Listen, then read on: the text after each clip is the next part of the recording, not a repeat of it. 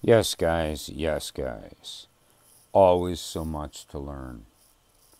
Okay, so um, most of my experiments with these capacitor groundings have been on the low side. You know, the 3D printed side. The bottom, the start of the winding that's going in one direction all the way through it.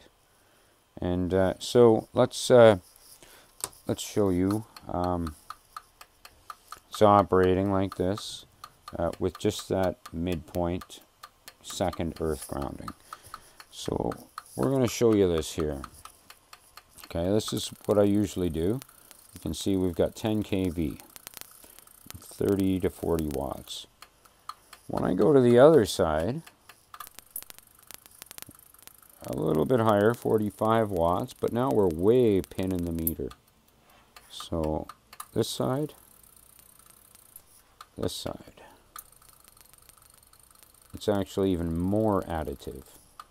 When I ground this high side, it's, it's pumping beyond. Both of them work well. This one works better, uh, as seen on the output.